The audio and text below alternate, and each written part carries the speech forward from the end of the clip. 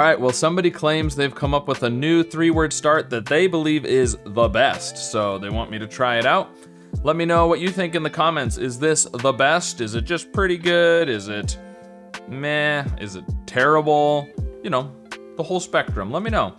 Uh, but we're going with super and daily and notch. Um, I think it's a pretty typical three word, 15 letter start. Um, we've got A, E, I, O, and U and Y. We've got R, S, T, L, N. So we've got all the vowels, all of the Wheel of Fortune letters. Um, you know, H and C and P, kind of the typical D, the typical middle of the road letters. So, um, yeah. So, I, I mean, obviously want to do TH is my instinct.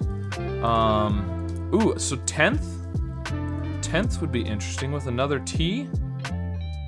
Let's try that. I mean, if nothing else, there, we know there's a T, the yellow T, so checking two spots for the T is pretty good. Is it 10th? There we go, okay. Well, um, you know, as usual, a three word, 15 letter start got us all the letters. Yeah, I don't know. Uh, Is this better than a lot of the other three word, 15 letter starts? Mm, I don't know.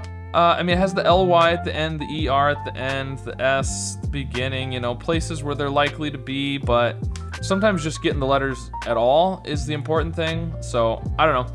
Let me know what you think. Um, I think it's pretty typical. I think most of these 15 letter, 15, yeah, 15 letter three word starts are all very similar. So, um, yeah, not too difficult today, I didn't think. So, anyways, let me know how you did with this Wordle, and be sure to subscribe for more puzzles.